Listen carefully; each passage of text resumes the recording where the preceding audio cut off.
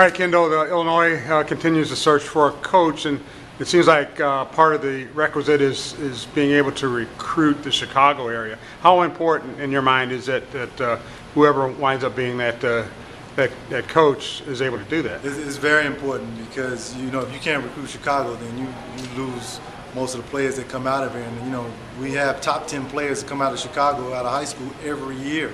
You know they always end up at a Duke or a Kentucky or a Kansas when really they should be at the University of Illinois. I mean that's the way it was when I played. You know we need a guy like uh, Jimmy Collins that, that's a master recruiter that can come in and get all of your homegrown talent. If we if we just had our homegrown talent, Yeah. okay, Uh-huh. we would compete on the national stage every year.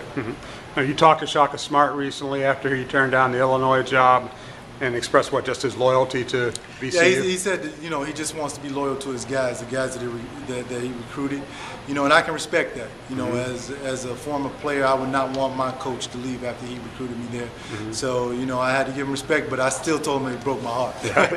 And of course, Brad Stevens at, at Butler, was that just not a good fit for him personality-wise, think? Yeah, I don't think it was a good fit for him. Brad Stevens said last year that the only job that he would leave Butler for is IU. Well, we mm-hmm. know that job is not going to open up anytime soon because Coach Crean has done such a wonderful job there. And uh, you know, I thought that Illinois would be a good fit, but you know, it's obviously Brad Stevens didn't think so. And- And you think Illinois' coaching job is, is one of the top jobs in the country, right?